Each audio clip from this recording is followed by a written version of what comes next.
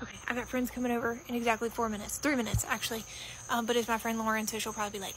But um, I gotta tell you something, okay? I'm not gonna wear a bra tonight. I'm not gonna wear a bra. But it might look like I'm wearing a bra. You wanna know why?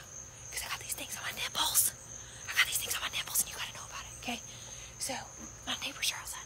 But listen, there's these things called cakes. They don't know me. I don't know them. I just bought them with my own money. But I think they're really cool. Okay? So it looks like sticky boobs. That's what it looks like, okay? But it's not. It's not sticky, but it's sticky because it meshes to your warm body.